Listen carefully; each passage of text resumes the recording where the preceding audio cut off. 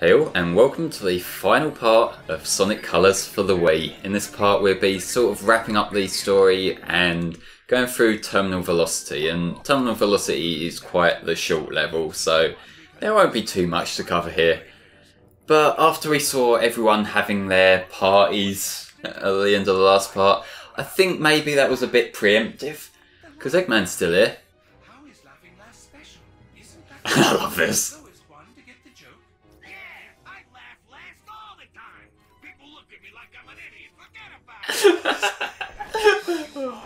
They they really are the best Eggman sidekicks, aren't they? They are. like, I'm glad they brought him back in Boom. Like, admittedly, I haven't watched as much as the Boom cartoon as I would like to. Like, I, what I have seen of the Boom cartoon is pretty fucking great, except for maybe the over reliance on meta humor. But you know, it's kind of it's the case of like the writers having fun with it, which I can understand.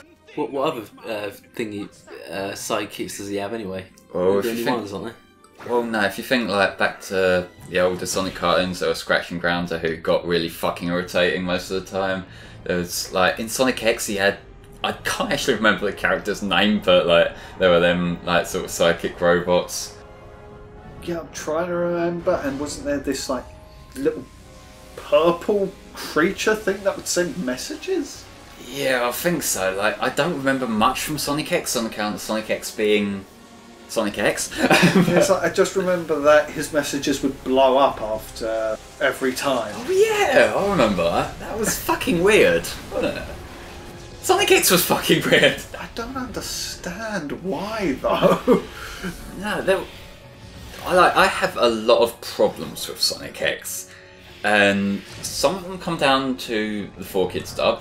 Like Kids dub made a bad anime worse, but in terms of like the writing and whatnot, like when they went into adapting the adventure arcs, it became really obvious, didn't it? Because like they built up this quirky world, and then they tried to adapt in like some really fucking edgy stories. Because like SA2 in particular, like there's fucking government conspiracy shit.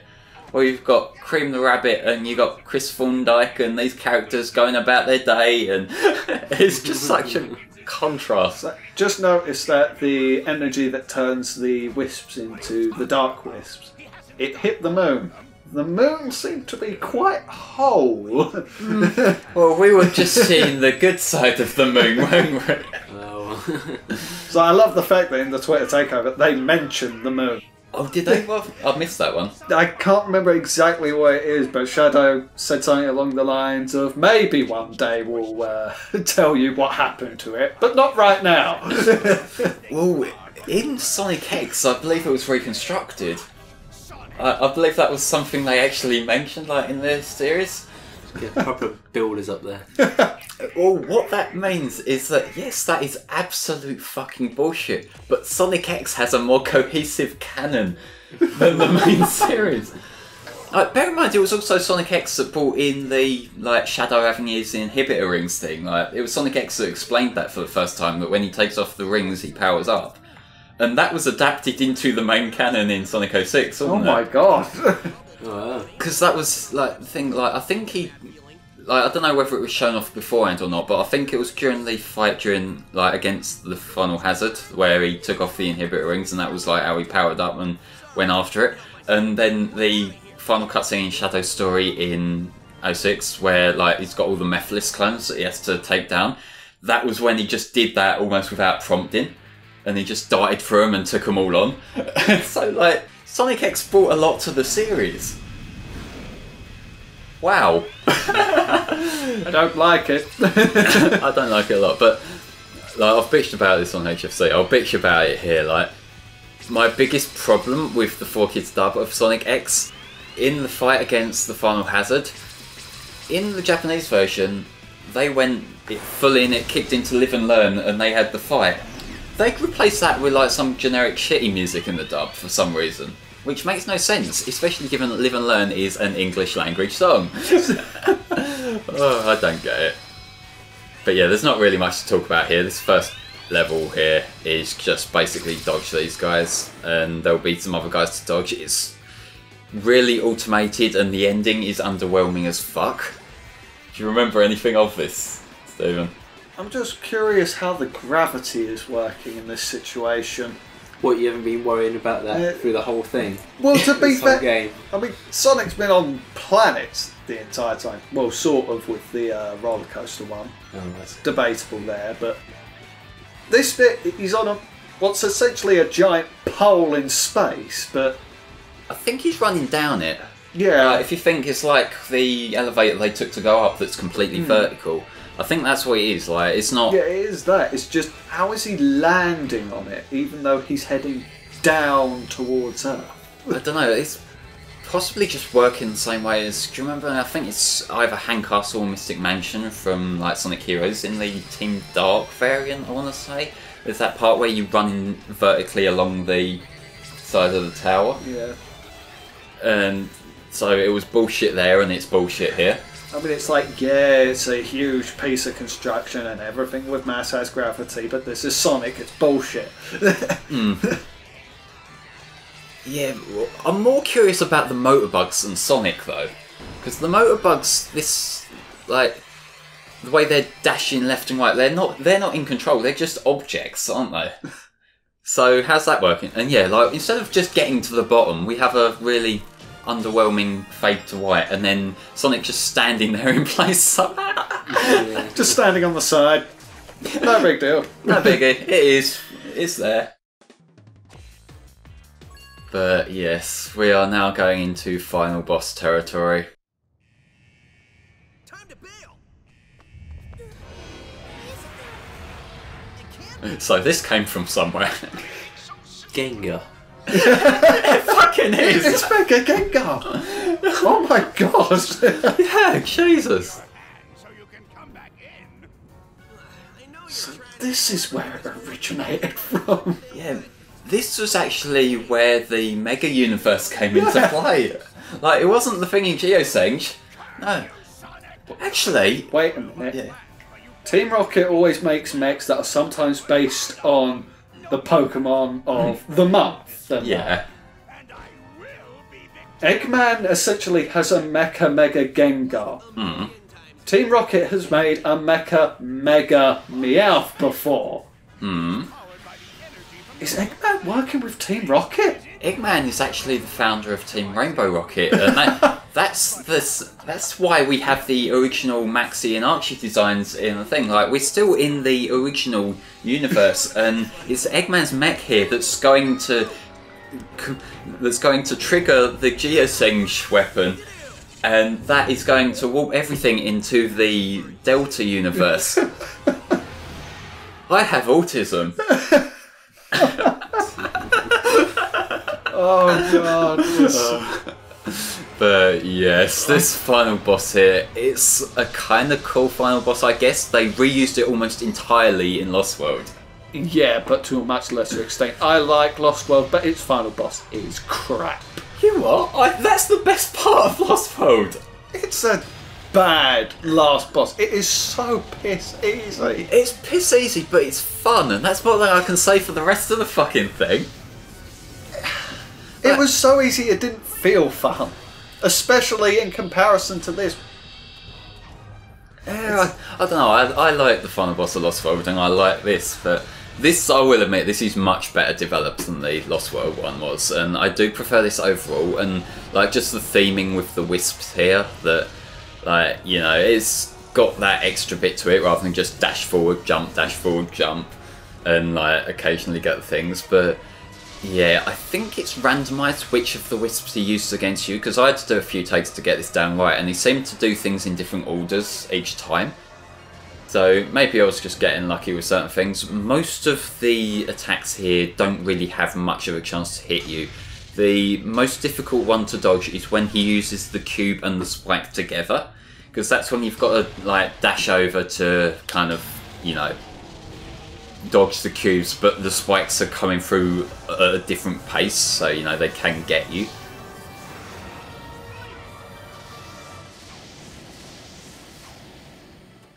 Yeah, what do you Yeah. think of the design of the boss, Chris? Uh, well, yeah, yeah, it's uh, cool and that, yeah. It's, um, the. It reminds me of Tetris a bit.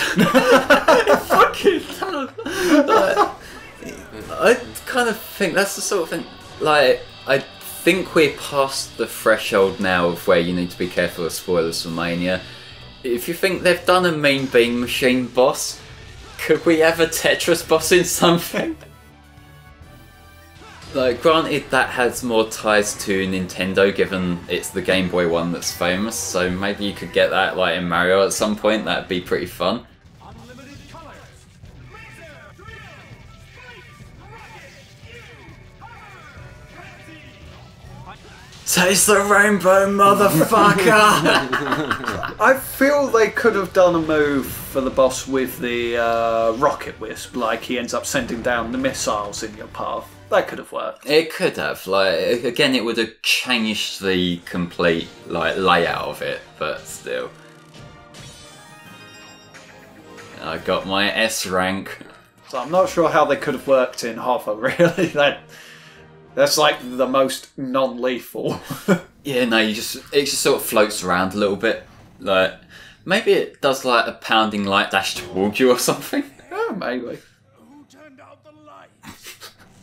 Uh, Right, we're getting towards the end of the game now, so let's start summing up what we think of it. Chris, I'll let you go first, mate, because you've just got your blind impressions here. Yeah, um, yeah, yeah. Seems like a good Sonic game. Yeah, um, yeah. It's a, yeah a, a bit blocky um, in some parts, but yeah, overall pretty good. I would say. What do you think of like the just general tone of it? Yeah, the, the tone is pr- pretty brill- spot on. Really, I'd say.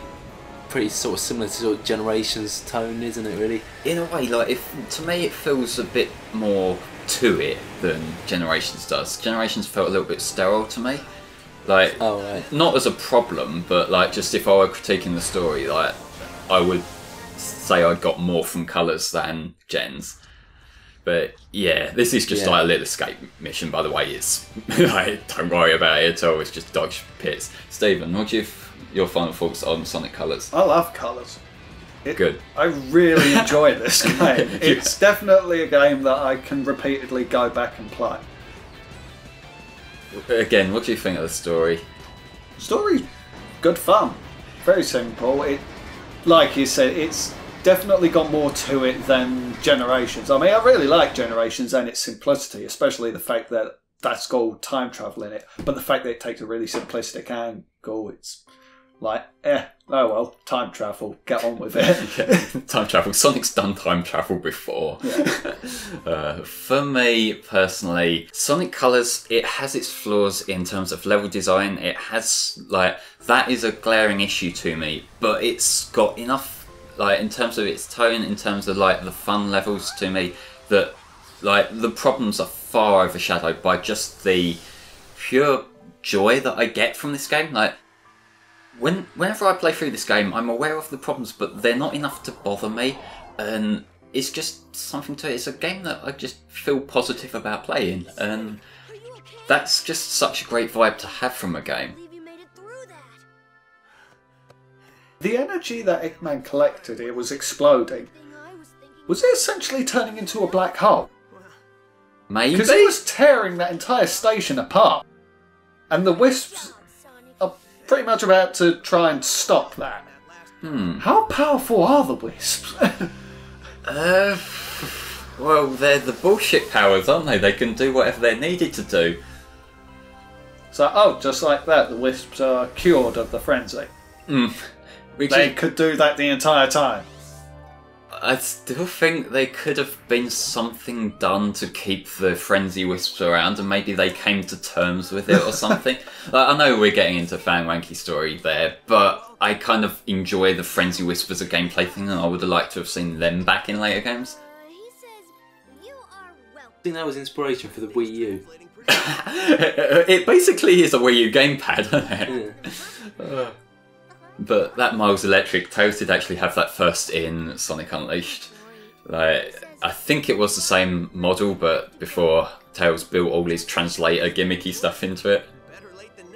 But this is kind of a sweet ending, even if the Wisp carrying Sonic down was basically the ending of Galaxy.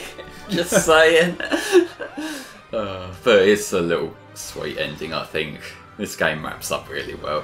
And that CG is really nice as well. I believe this was Mars the Planet CG. Uh, also did Unleashed and done Zero Gravity and a few other Sonic things as well. So really pretty, but ladies and gentlemen, I've been the Flame Flameclaw, Stephen. Chris. and this has been Sonic Colors. Bye bye for now. Finally, we can relate. Our side by side is knew all along we'd find some way to communicate.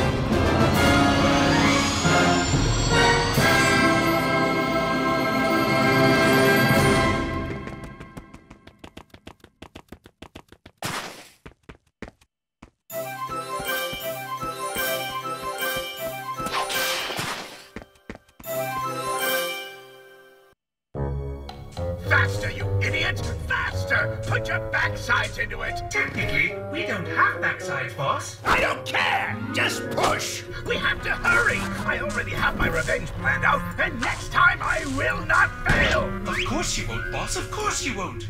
On the bright side, a certain someone got their voice back.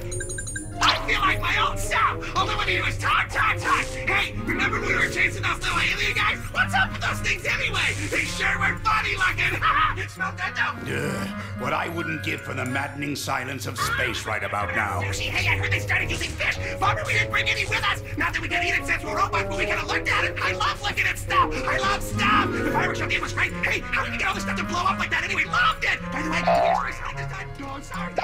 You're having this great Sonic. Where we go? Look at that star. Oh, my God.